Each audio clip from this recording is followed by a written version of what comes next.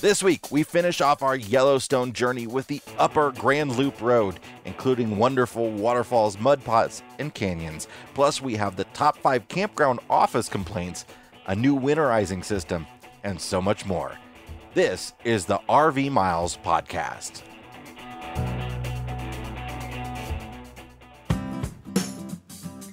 RV Miles is brought to you by LL Bean, your source for warm, cozy styles this fall. For 108 years, LL Bean has staked their reputation on making comfortable clothing and gear to help you enjoy the healthy benefits of being outside. From legendary Maine made boots to layers that are just the right weight, to flannel shirts that out cozy all others. Find joy in the tried and true. Visit llbean.com to find a store or shop now. LL Bean. Be an outsider.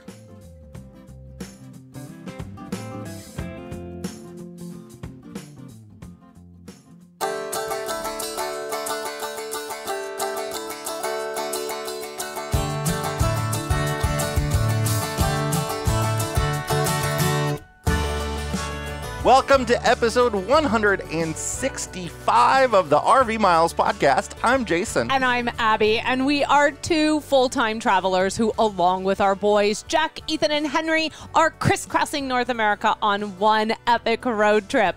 Each week, we talk all things RV and outdoors, from travel destinations to gear, industry news, our national parks, and a whole lot more. We're uh, we're continuing to come to you from the same area we were at last week. we're going. It's been a quiet week. it's been a very quiet week. There have only been two or three RVs in this campground, which has been lovely. It's been great. In fact, at one point we felt like we had the whole place to ourselves. Which is wild because we were talking last week about how Custer was so busy, and they were yeah. talking about reopening some of the campgrounds that had closed in Custer. Uh, but this place is dead we just moved what 50 60 miles yeah. from custer and it's absolutely night and day and we are loving it. Now i know in the warmer climates it is is quite a different story right now.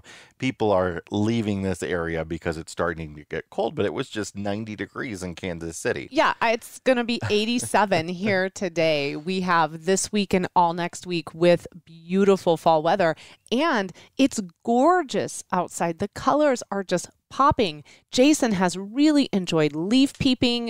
It has... oh, you had to bring up that word. oh, I hate I had, that phrase. I know. I had to do it just for you. It would not be a fall RV Miles episode if we did not at least get leaf peeping in once. All right. Well, even though this campground is empty, uh, because lots of campgrounds across the country are busy, I'm sure there are lots of issues happening at campgrounds, as often do arise. Our friends over at rvtravel.com have put together a list. In fact, it was Nanci Dixon, one of their writers, who's also a regular camp host, and she put together a list of the top five complaints that campground offices field. that they handle. So, you know, guess what you what you think they might be, but we're going to run down what these top five ones are. We're going to start with number five. What do you think number five is? You're going to ask me to I guess before you tell Should me. I? Oh, okay. I know. I just, I wasn't prepared to make a guess. Uh, number five, I'm going to say is probably, can you make sure dogs stop barking. no, that is no? on the list. But number five is yuck, the restrooms are dirty. Oh, see, I thought that would be higher up. Like, unless this is number five is the worst and one, or the worst, like the biggest no. complaint. Okay. It, you know, the things that I, people care about sometimes, believe me, dirty restrooms are high up there on my list as uh, well. Uh, they're but... way up there for me. it's very common for campgrounds to have dirty restrooms, and it's very common for campers to leave restrooms oh, very dirty. Yeah. It's not nature's problem that the restrooms are dirty. Okay. Wildlife didn't go in there and make that mess. Yeah. Some some campgrounds clean their restrooms three times a day. Some campgrounds clean them three times a week. Again. Some maybe three times a month. not nature doing that. That is all human led. Number four is a site complaint. My site isn't level or it's too muddy. Oh, oh. Yeah. Now there are some campgrounds that have their sites are built poorly so that the water pools in them and mm-hmm. that that can be a real problem if you're in a rainy area and what are you going to do about that other than backing into your muddy site you're sitting in your rv and you just feel yourself slightly sinking down a little bit more a little bit more Yeah. Now the the my site is not level thing though. I go back and forth on whether or not that's a justified complaint. I think all RVers should be expecting to level their RV to Mhm. some extent. But if the site is so far on level that it's very, very difficult, Yeah. then I then I could understand that. You know, sometimes there's a, like a steep downhill and you couldn't in a trailer. It, that's one of the things that we have enjoyed transitioning from a, a motorhome, our our bus conversion to a trailer, is that it is a little bit easier to level in the trailer. Yeah. Well, you know, in the bus conversion, we were leveling thanks to some wooden blocks Yeah. that you had put together. I mean, it wasn't the easiest with those big giant wheels and how heavy we were to actually find something that we could level safely with. So you actually created something. Yeah. Now here, I think it's in the trailer, it's just our size, our weight, and how we position ourselves when we get into a campsite is a little bit different now. And so I think that that makes it a little bit well- easier and it's equipped with things that Yeah, front to back, you get to deal with the you know the Yeah. tongue jack makes leveling front to back easy. So you only have to worry about the left to right in a, in a trailer like ours. Now a lot of motorhomes and fifth wheels have uh, automated leveling systems and all that sort of stuff. We're not fancy like that. No, and you know what? no, we are not fancy like that. And you know what? I even I complained about this last week, so I will own that. I mean, as much Yeah. as I say, is it or is it not the campground or the campsite's fault? I absolutely black tanked our unlevel site at Custer last week. But I also, and you were really good to point this out. 50% of that needed to be on us Yeah. because of the way we came We into moved. the site. Absolutely. We could have moved, we could have adjusted it. So we had to own it. And so, you know, reflecting back on my black tank last week, maybe I was a little too quick to judge and I'll own that. I was really tired of not being able to use our water and a little exhausted when we recorded that podcast and grumpy. I, I would venture to guess that most of the complaints about level sites are people that have automated leveling systems and the site is so unlevel Yeah. that their system cannot level their And that's frustrating. Yeah, so if you you know, especially if you're going to a state park or a federal park, um, sometimes it's best to call and ask about that kind of information, especially if it's really going to affect whatever your setup is. Yeah, if you can get them to answer. Right? Yeah. Oh Yeah. man. We had we called this place you, so many times to see when they were shutting their water off, and Yes. never got an answer until until about the we decided to just you know hedge our bets and go with it because the weather looked really good. But we also knew the reason why we were calling is a the website said after october 1st the water could be shut off call the park. But also we knew that when we were here two years ago and the weather was very different much colder they had already shut off the water. So we knew it could potentially be a reality. So I did email them as suggested. I did call and leave a message as suggested. I did call and leave a message for the park manager as suggested. Uh, I did follow up to my email as suggested. Uh, and it took a week to get somebody to give me a response. Well, uh, you know, I, I think some of these parks are a little short staffed right now because they probably we haven't are. seen a single person that works here drive through here Uh, in a that's not you know what? I will say i did actually see somebody yesterday who came over and cleaned the bathrooms and that was very it was very nice to see a truck that had south dakota's you know state park emblem on the side it was nice to know there's actually someone here in the park Number three is is what you suggested for number five is quiet those barking dogs. Now I Ah. know you said that because you've seen people complain about that in Facebook groups all the time. yes yes we have rarely experienced oh no like lots of barking dogs. It's like No. it's such a common complaint that people have. But I, I, just have never had a camping experience interrupted by dogs that bark too much. You know what, Jay, though? I think you and I are maybe a little tone deaf to those kinds of sounds because we travel with we children. barking children. Well, you said it, not me. Okay. you said it. Just for the record, kids, if you ever go back and listen to this. But I do think that our our tolerance of a noise Yeah. level, while we always want to be considerate of others when we're at a campsite and want to do the best to contain our noise level, we also have been living with heightened noise for 13 years. so a dog barking probably isn't going to register with me as disruptive. Yeah. I mean, we had friends say to us, Oh, did you hear that car alarm go off at 3 a.m.? It woke me up, you know, and they're one site next to us. And I go, Nope, didn't hear that car alarm.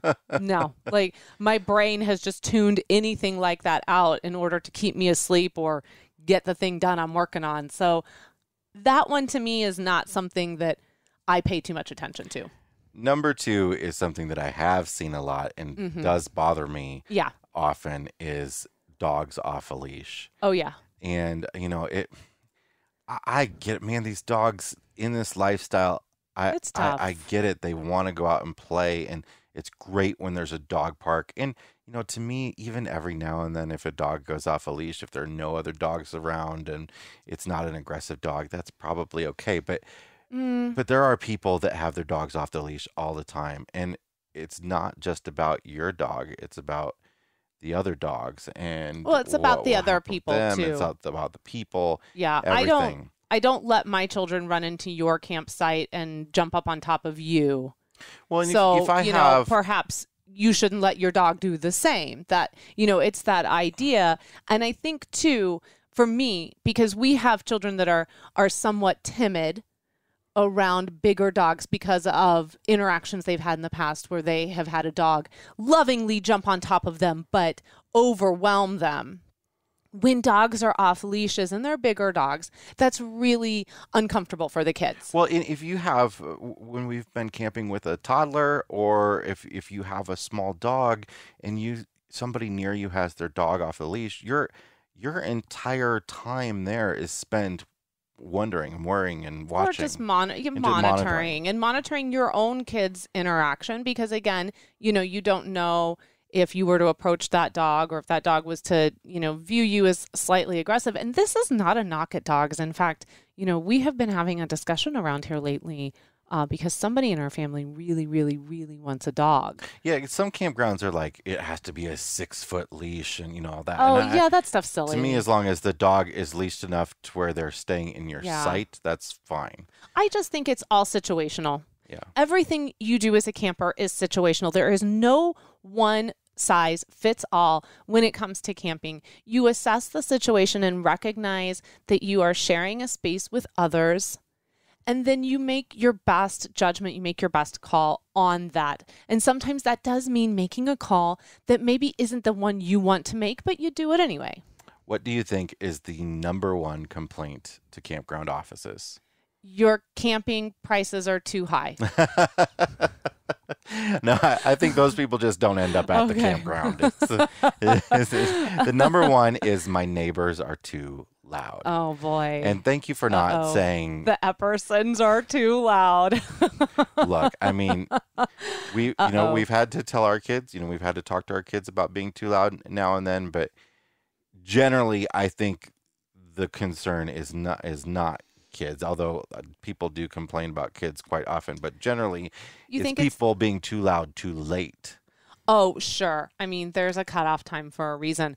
Uh, I think it's that newfangled rock and roll all those kids are listening to as well. You know, Well, we've we've had we were just talking about this yesterday when we had that experience at Echo Basin where there was a group of campers together and they left for the day, brought their awning in, put their chairs away because it was windy, but left the outdoor speakers on and just kept playing their music. Now- and so for hours, we just had their music. we thought it was a mistake. Uh, you know, an Right, like- accident, easy, but they did it twice. Yeah. So either it's just a mistake where they live 24 7 with music always in the background. But part of me was like, no, I really do think that they're. They, they either they think they're doing us a service right? or I don't know. I don't know, but that that to me is one of those my neighbors are loud. But at the same time I was like, well, it's just music and it's a Saturday afternoon and whatever, you know, like we'll put up with it. Three o'clock in the morning if they were doing that, maybe that's a different story. Well, if you want to read that article, head over to rvmiles.com slash 165. The show notes for this episode also in the YouTube uh, description. You can find it there as well. And you'll find the link to this article and go over to rvtravel.com. And, you know, their big thing is newsletters. Subscribe to their newsletters because they're They're pretty awesome. They're great people. I don't well. know how they do it. I I, don't either. one a week. Well, they've got a staff, but it's it's it's rough. Yeah. I'm just waiting for the kids to get older so I can have a staff. we have been asking you for the last several weeks if you do want to find a way to support RV Miles. We uh, have been coming up with different options for you that are that are really easy and free to do. And this week, our weekly ask for you is to consider using our Amazon affiliate link if you are going to be purchasing anything on Amazon. All you have to do if. Did you just say if you're going to be when? I think really that sentence is when you purchase something on Amazon. We've made it really easy now. All you have to do is type in amazon.rvmiles.com and that will take you to the Amazon homepage, but it's got our affiliate link baked in. So anything you purchase, we get a tiny little kickback for. It doesn't cost you any additional money. And if you use uh, if you use like smile.amazon where where you're uh, giving back to charity when you purchased from from Amazon as well, it still works with that. Right. So, So- you can spread the love for sure. And, you know, these weekly asks, we really, really appreciate them. And we have seen y'all going out there and doing that for us. And again, it just really warms our heart to all of you who came over and joined us on Instagram last week. Thank you so much. With the holiday season coming, if you can just keep RV Miles in the back of your thoughts as you go to Amazon and make those purchases just using amazon.rvmiles.com. We would really, really appreciate it. And we thank you in advance so very much. While you're over at Amazon, you might want to take a look at something that really uh, caught my eye. Did you buy it? As no, I, Am I going to have to go pick this up in Rapid City? Is that what you're saying? uh, this it, it's a device that goes in in your RV installed onto your water system. It's called the Floe, F L O E, and the E has the umlauts over it. Okay. Okay. All right. And this, what this is, is a, a small onboard DC powered air compressor that is built into your water system so that you can blow all of the water out of your system Oh. for winterizing without having to get a separate compressor and hook it up to, you know, hook it up to a hose, hook it up to your water fill, all that sort of stuff. So this would be really great for people who are wanting to extend into the fall late when it's you know you're you're not full time like us but you're going out for uh, a few days at a time and you have to winterize when you get back. You could use this you just flip it on and then go through and turn open all your faucets. You could use this you know as part of your breakdown leaving a campsite Oh, So- that's such a good idea. and then you just fill back up with water next time you're camping yeah We were just talking about like blowing out the lines and stuff and how you felt like it wasn't quite yeah i the mean for- safest way to winterize. And this sounds like maybe a way to like double down on that and really make sure you're not leaving anything in there. I still prefer to use the liquid antifreeze for Mhm. a you know for a deep winter winterization, but for fall and for intermittent when you're going back and forth Yeah, between yeah. camping, I think this is great. If you're going to be leaving your rig for a couple months in storage, I still would use the liquid stuff if you're in cold enough climate. You know, yeah. um, Which be- is what we right. are looking at having to do right. in just a couple months. Uh, so there you go. Um, check that out over on Amazon. Uh, we'll link to that in the show notes as well at rvmiles.com slash 165. Fall is here, so it's time to start thinking about prepping for the winter off season. Whether you own an RV, travel trailer, or camper, EmpireCovers.com is here to help protect all your vehicles against Mother Nature. EmpireCovers.com offers high quality, affordable covers that are engineered to protect. Every cover comes with a free multi year warranty to guarantee that it remains durable over time. RV Miles listeners can receive free shipping plus an extra 15% off their entire order. Visit empirecovers.com slash rvmiles or use promo code rvmiles at checkout. empirecovers.com. Protect what you love. It's time for the answer to last week's brain teaser. The malpractice suit. the malpractice suit. Which went teaser. like this Dr. Rob was staying with cousin Ralph in Ralph's RV in a beautiful wooded lakeside campground in a national park. The two had come together for the camping trip to set up Ralph's will. As Rob was Ralph's closest living relative, much of Ralph's estate was being left to him. One day, Ralph went to Dr. Rob very disturbed. Doctor, he began, I have just found out that an assassin wants to get me. He will be here very soon. Where will I go? Where can I hide? If he finds me here, he'll surely kill me. I do not have time to leave this campground to go further into the woods. Dr. Rob thought for a moment, then grabbed a five foot long bamboo pole with a diameter the size of a quarter. Ralph, follow me to the lake. The lake is four feet deep. If you lie on the bottom of the lake and breathe through this pole, the assassin will never find you.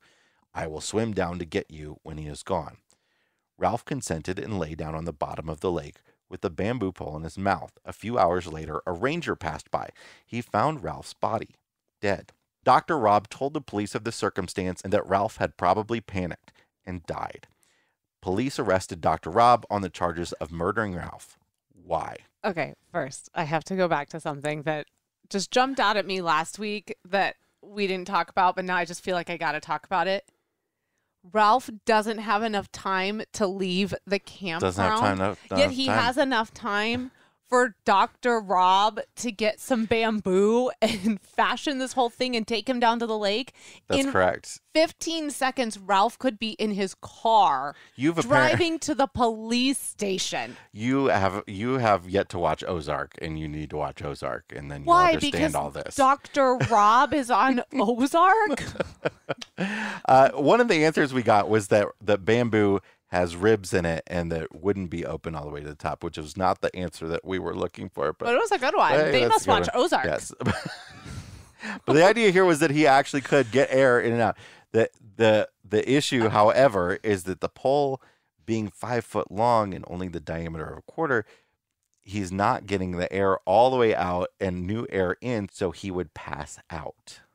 Why didn't he stand up? because he doesn't because he's passing out he doesn't know when, when you pass out due to carbon dioxide you don't I, know it Look, I, this is there are there are as many holes in this as Dr. Rob's bamboo pole. or an okay? episode of ozark so clearly an episode of Ozark. I I can't with it. All right, let's move on. Jay. okay all right but i have to add that because dr rob was a doctor he should have known this and that's Well, why you know. that's why the police knew It So Dr. really Rob is the assassin. yes exactly Which is exactly what I said last week. All right, we are here today to talk about the final portion of our Yellowstone National Park visit, the upper portion Ooh. of the Grand Loop Road, the upper circle.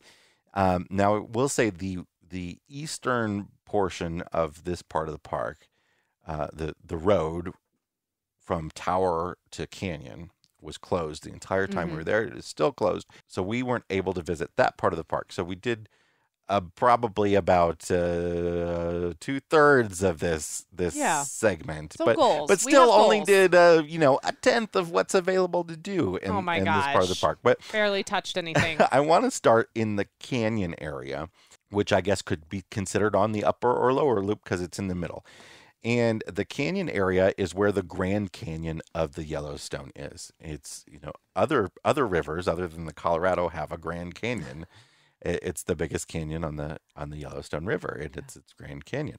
It's probably the second most popular site in the park next to Old Faithful is the Grand Canyon of the Yellowstone, and particularly Lower Falls. hmm Lower Falls is a 308 foot waterfall that is the biggest in the park, and it is absolutely gorgeous. And Yeah. uh, and you know we spend a couple hours going over there and checking the canyon out and the waterfall. It was not a bad way to spend my birthday. It was your birthday. It was my very birthday, nice. and we enjoyed a beautiful day and just some of the most iconic views in the park. And it was another fairly quiet day as well, which was wonderful because we were going to such a popular location. And it was thrilling. I, you're hard pressed to find anywhere in Yellowstone that's not going to take your breath away. And it doesn't have to be something as, you know, visually giant as, you know, Grand Canyon of the Yellowstone doesn't hurt, but there's nothing you can do in this park that's going to make you miserable. Now, the Grand Canyon of the Yellowstone, the way to visit it is there's a, a, a loop road that takes you uh, along the eh, rim of the canyon. And there are probably a dozen places to view Lower Falls and sort of the spectacular view of the canyon. You don't have to go to all of them. I mean, No. sev- several of them offer a similar view, and some of them offer a, a little different view. But we started with the brink of the Lower Falls Trail, which is really cool because you actually see Upper Falls on your way down it, uh, which is just as spectacular but Mhm. further away. And this trail is a whole bunch of paved switchbacks. That's all it is. Just Uh, take your Tylenol before you go. pretty steep down. Uh, the the way down's not too bad. On the way up is uh, was a little Oh. rough. It was, you know what, for me personally, actually, I find down just my knees hate going down. And so when we got to the bottom, I was like, oh, thank goodness. Do you end at the very top of the waterfall? So you're Wow. watching the water go over the waterfall. Yeah. It's a really spectacular place to see a waterfall to get that close to it. It is, it's amazing how close you get to it. And you just, you feel like you're looking right down. You feel the mist. The mist goes Yeah. up. The mist goes Ethan higher than twice the height of the waterfall. Ethan didn't like it. He did not like getting that close to that, Well, that drop off. I will say it was also very, very windy the day we were there, Mhm. and when that wind sort of blows up the canyon, that's a little frightening to our Oh, kids. They've had a few experiences with just sudden wind gusts. I think Ethan is still reeling from Mesa Verde. So, you know, I could see why he was like, wind, canyon, I'm out of here. So we then drove a bit further down the road and got a view of the full canyon, and that's kind of the extent of the time we spent Mhm. in the Grand Canyon of the Yellowstone. We did go over to the Canyon Village area, which is a, uh, another big visitor hub of the park, where there's a hotel and a restaurant and gift shops and visitor center and restrooms and all, and all that sort Yeah. of stuff, and cell signal. And cell signal, you know, this also is another stop where you can go if you get passport stamps. So you can get a passport stamp here as well as the one that you get over at Old Faithful. This also, this particular stop, and I was never able to find it again, had probably my favorite local beer of all the beers that I had when we were in that area. And it was a Huckleberry Hefeweizen. And I could not find it anywhere else. Just right there at that canyon store in their little grocery area and they had quite an awesome selection of local beers. And so i got this one and then i got the one i've talked about before which is the hucket which is the big sky huckleberry wheat couldn't find the hefeweizen anywhere else to save my life. But it's nice because you can buy beers right there in the Yeah. store, and then you can take them to a picnic area, which is exactly and what they we did. And they weren't super expensive. I think it was $2.20 a can which is certainly cheaper than a pint you're going to buy at a restaurant. So i grabbed a couple of cans for my birthday and headed on out down the road. And we had a we had a picnic where we did a little stir fry hmm on the Blackstone on the back of the pickup truck uh, in the that was the Norris picnic area, which Yeah. was one of our favorites right along the one of our River. favorites one of my favorite stops hands down probably my favorite area Yeah. for sure Next would be the Norris Geyser Basin, which is right there by that Norris picnic area. The Norris Geyser Basin is another very, very popular area of the park, and uh, it, the, you'll you'll notice when you drive up here the amount of overflow parking wow uh, signifies how many people come to this area, partially because it is one of those areas that's super convenient to West Yellowstone. And I think Ab, as, p- p- I think particularly Abby's favorite area in the whole Oh, park was the. Norris Geyser Basin. absolutely and we actually never finished it no, we never didn't. walked at all went three times never actually walked the entire length of the boardwalk either going towards steamboat geyser or going to the right to porcelain we never walked both of them all the way and even the little bit we did because again you know we said this last week we'll say it again most of our time in the park started later in the day. We were really, really, really into being in the park during the golden hour, during dinner, after the sun had set. And so every time we got over to Norris, we were getting there and we were catching a spectacular sunset over there by Steamboat. But then we only had this small window of time before it got dark, and we didn't feel comfortable being out in a bear aware area, you know, in the dark. So we never finished it. And even though we never finished it, we had some of the coolest, most amazing views. Steamboat Geyser is is really special even when it's not erupting, and it is entirely unpredictable. So you don't know when it's going to erupt. So I don't you, think I want to be there when it erupts. it does. they they have this sign when you come into the parking lot that is essentially park at your own risk. Yeah, because the, apparently the acid from the geyser can damage your paint, and the parking lot's a long way from the geyser. A long way away. And some people were not taking chances. They covered their cars. Covered their cars. They covered their cars. We did not. When you're there though, it's just like you just said, it's so spectacular just to see because the landscape around these geysers, especially if there's a lot of trees around the geysers, they have been completely altered by what is erupting the the water that erupts out of these geysers.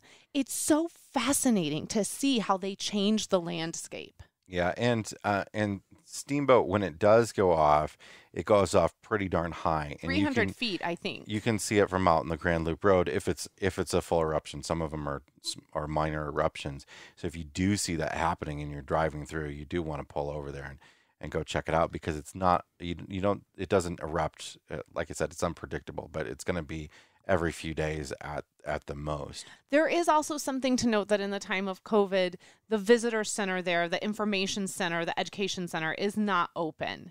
Yeah, so there's a there's a museum there um, that looks pretty nice, but does have some facilities. There's restrooms and stuff There that you are in the parking lot. There's a restroom. right now. But that side of the Norris, Norris Geyser Basin was was my favorite part because it's so full of like weird random steam vents Mm-hmm. and noises, and the earth is like burping and Oh, it's creaking, so and cool. and then it has a wide open expanse uh, towards the setting sun. So the sun is like you know coming through the steam of these geysers and and steam vents, and and it just looks gorgeous as it comes through there. And then we get over to the porcelain geyser area. And, you know, it's sort of like it's named after sort of the milky white, shiny look of it. But we were there, I mean, it was it was well after Oh, sunset.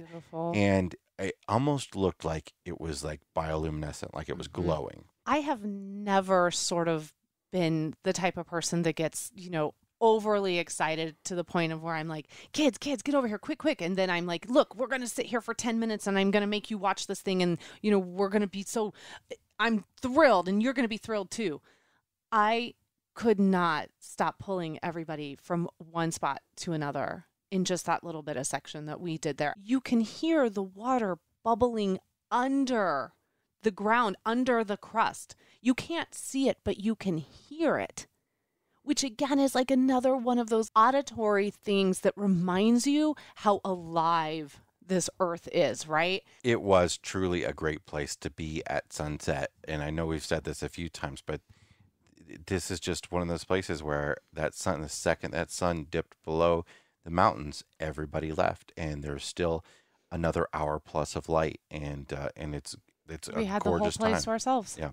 Next, moving up the road up north was probably our kids' favorite area Oh, of yeah. Yellowstone National Park. Oh yeah. The artist paint pots. When you say artist, it sounds like it might be colorful or something. It's not like colorful or anything. No, but no. they're they're mud pots, and um, what a mud pot is is is basically another thermal feature of of the park where it just the the, the Bloop, bloop, bloop, bloop. Well, what what happens? Like we talked about this with the mud volcano, is that the acid in the water melts the mud, and melts the dirt, and turns it into mud. And, but here it's like thick, and these these things throw mud. They throw sludge up in the air. Yeah, and it depending depending on the time of year is how far the mud is going to or go. if it's rained recently, it's sort of like the consistency of the mud. Yeah, so in the spring, you have a better chance of the mud flying so far that not only does it go past you, it hits you.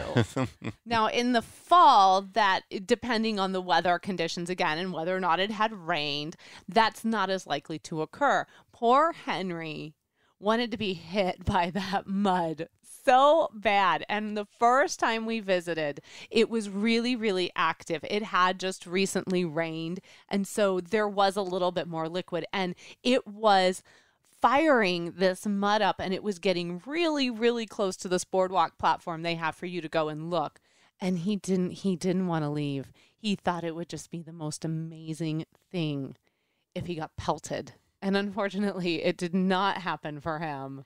But Now- he was so fascinated was. by it. Now, everything we've talked about so far on this episode is close to the road and Mhm. is really easily accessible, even if you're, uh, you know, if you're not very mobile. Artist Paint Pots is a little bit further. It's about It's a a mile, and a half, a little mile, a little Well, over a mile it's loop. Yeah, it's closer to a. Uh, it's a mile and a half loop total. I think. And it's not yeah. really a loop. It's like there and then around a little loop Yeah. and back. But you do have to go up some stairs and some stuff like that. But it is, uh, it's a wonderful spot. Another wonderful sunset spot because Mhm. you can see over a giant meadow that often has elk and bison in it. And um, so you get the paint pots are, you know, that's a very kind of a small portion of this area. But then there are other geysers and pools Yeah, and stuff around here too. Again, it's just another really great spot in Yellowstone to check out. In fact, we went twice because did. the kids really loved it so much, and it was different both times. The consistency of the mud had changed Yeah. in between times. And that was a really great learning experience for them too, to be able to talk about why it's different from literally, I think, 48 to 36 hours, Yeah. maybe difference.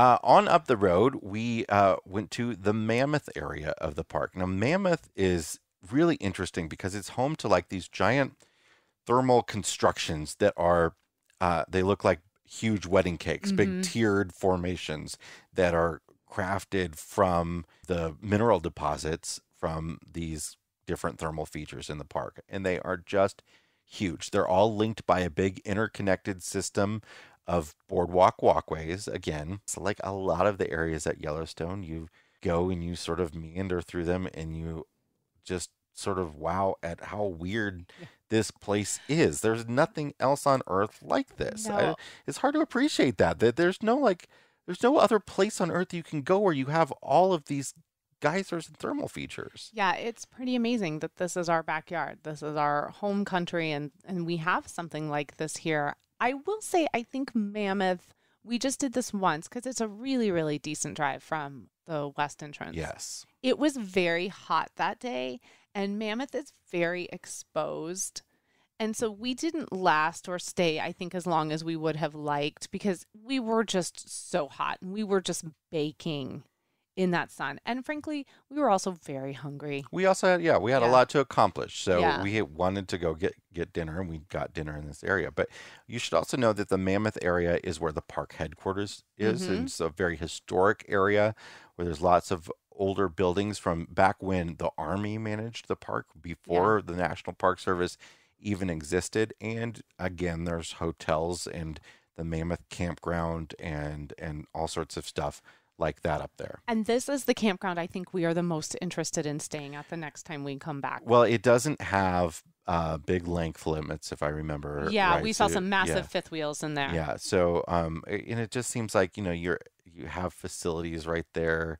You want to go over to the camp store and stuff, Yeah. it's all right there. Well, you're close to Gardiner as well. You're also, uh, I think there is a trail that's going to connect you directly into kind of the heart of Mammoth there, the park headquarters and the restaurants and everything. It's like a little mile trail. So you have things you can do that don't require you to get in your car. And that's a really nice thing to have when you're in Yellowstone. I think personally, like when I can explore the area without having to get in my car and drive 20, 30 minutes, I appreciate that. And it seems like Mammoth Campground allows you to do that a little bit. Yeah.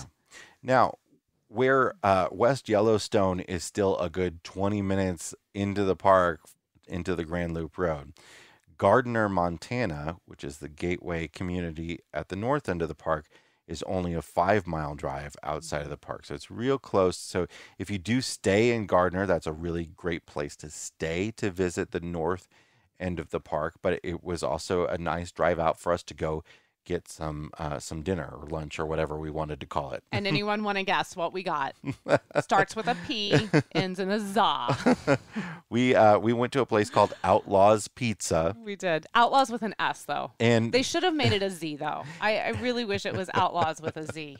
and we got to go pizza, and we went to a place called Arch Park, which, um, if you're not familiar, there is this giant archway entrance at the north end of the park. It's called the Roosevelt Arch, which was the keystone was laid by Theodore Roosevelt, and it's sort of like this iconic historic entrance to the national park. And the town of Gardiner has a little park that is just out, just in the shadow of the Mhm. Roosevelt Arch, and we sat at a picnic table there and had our pizza dinner.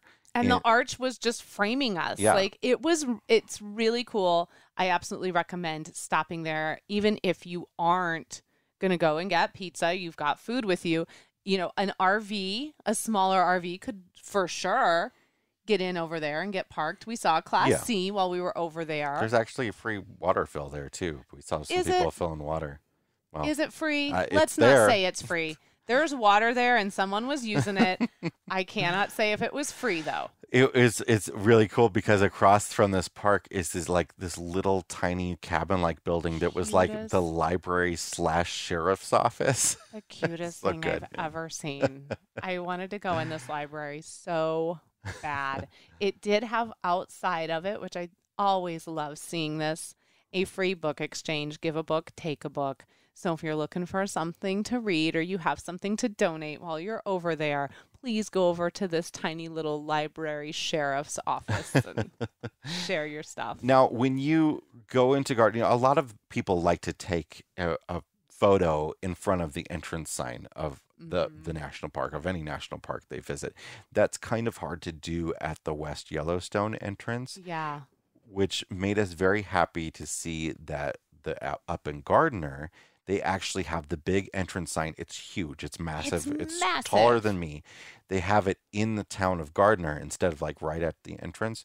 So and it's in a little plaza, but it, it nice has parking. the- like, yeah. the national park is behind it. It's not like buildings behind it or anything. So you can really take your time and, and get a really good photo here. Yeah, and everybody else is taking photos so that you can trade off cameras and stuff. And we got one of our, I think, our best family photos Yeah. ever there at that at that sign. And you know, often too, I think is that it wasn't as busy as everyone who was over at the arch. hmm So that's another thing too. You know, if you do not want to stand around and have to wait a long time to get the picture, then this might be a better option because everyone wanted to do the picture with the Roosevelt Arch. Yeah.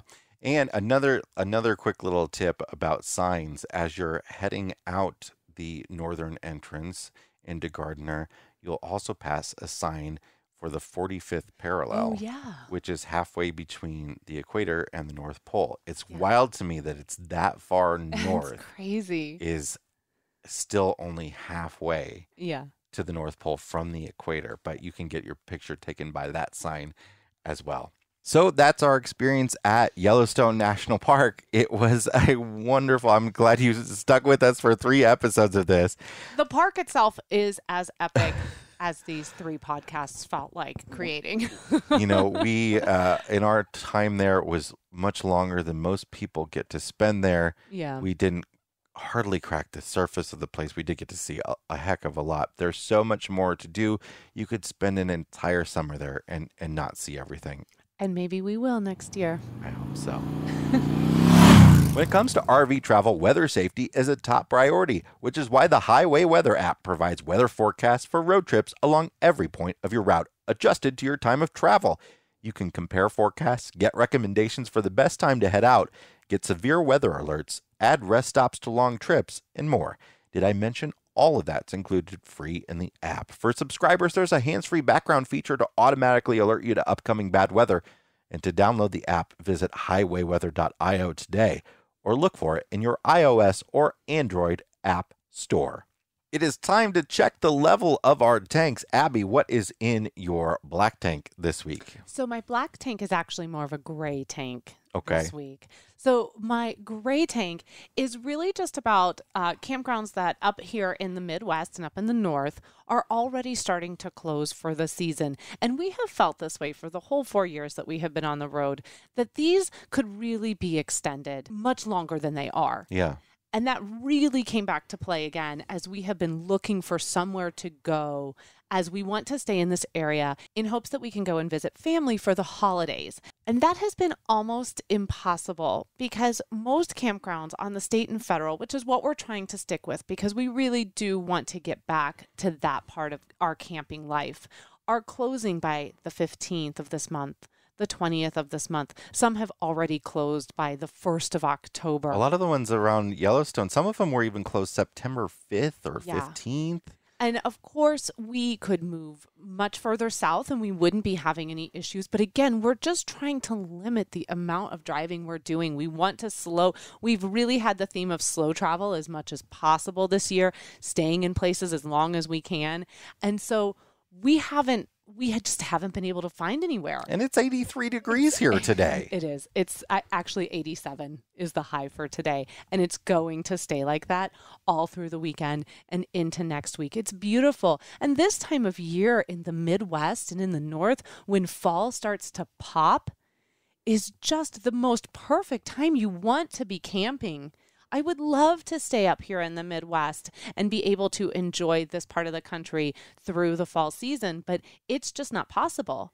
A lot so, of private campgrounds are staying open a little bit later than they normally would this year yeah. to accommodate, but but state and federal parks just kind of, you know, they, they, just do what they, they do. do what's, what they do. again, this is just a gray tank. It's more just about kind of our desire of what we wish we could do, butted up against what the reality is. And so we have had to make the decision that to continue to be somewhat close to family, should we decide that it's safe to go visit for the holidays, we're going to have to go to the Tulsa area. And even going to the Tulsa, Oklahoma area, we were still limited. Northern Oklahoma, even is closing a lot of their federal and state campgrounds for the season.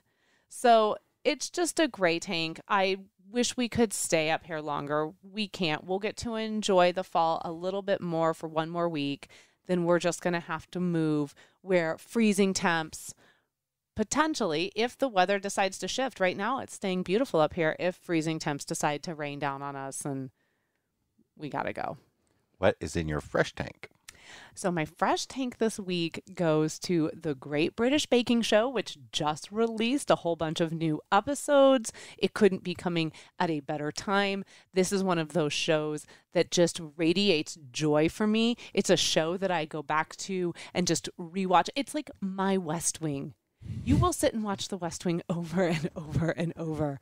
Well, that's how I feel about the Great British Baking Show. And they have a whole bunch of new episodes on Netflix. I absolutely recommend them if you are looking for something that is not divisive during a very divisive time. You want to go and you want to watch this and you just want to celebrate the joy of baking. And you want to hope for a Hollywood handshake. Everybody wants a Hollywood handshake. That that, it's amazing. It's that amazing. does not sound like an appropriate term to me. That does not sound like Sounds like it's sounds like it's something about? else. Is all I'm gonna say. It's a it's a Hollywood handshake. all right, Jay. What is in your black tank this uh, week? My, you know, we've been talking about the need for new campgrounds uh, quite a bit, and there are some being built, but even most of the money that's getting put into new campgrounds right now is going to sort of fix up older ones. You know, a lot of investment money is going into buying older parks that already have an established, you know, presence and, and fixing them up. But we do need more camping spaces in general. And there's a big problem for a lot of campground developers. There are some that are trying to build brand new campgrounds, but they're facing a lot of pushback from local communities who just don't want them to come in. Oh, um, and you know, particularly, I think it's a it's a lot of times it's the squeaky wheel type people. It's yeah. the people that go to the city council meetings and go to the community meetings and complain. And we have a lot of experience with with those types of people. We've been we do when, Chicago theater, shocking. When I worked at the the theater that I I worked at for uh, quite a long time, ten years, was right near Wrigley Field, and the the neighborhood association would have their meetings at our theater, and often the alderman was there and, such. And and, anytime the Cubs wanted to make a change or they wanted oh, something man. new or they want you know they just did a big massive redevelopment, they would have to come present their plans at these community meetings. And the pushback from these residents who were still mm-hmm. complaining about lights being added to Wrigley Field back in 1988. And yet enjoying the fact that their property rose like 50% in value. Oh, every, no, every it probably co- yeah. rose like 5,000% yeah, like in value. And that's time, not an exaggeration. every time the Cubs would touch something, yeah, and they would do something to make the experience at Wrigley more enjoyable, property value in that area skyrockets. You didn't used to want to go into that area. Now Oh, everybody no. wants to live there. Yeah, it has the probably one of the most sought out public schools in the area as well, and yet they do not like.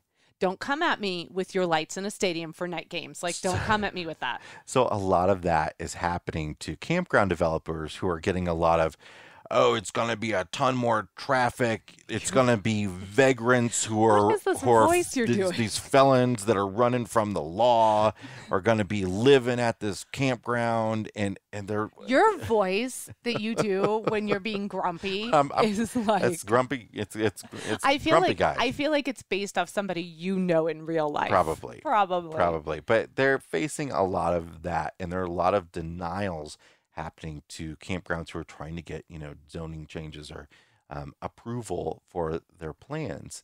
So, uh, you know, hopefully communities will start to realize that, hey, campgrounds are a really good thing right now, especially because they, you know, campers come in and they pay the the lodging taxes, which, you know, lodging taxes in local communities pay for so much stuff that residents don't have to pay for and they bring in tourism dollars who you know then go visit other shops and restaurants and all that sort of stuff and especially whilst people are still you know it's going to be a long time while people that people will still be leery of going to hotels Yeah.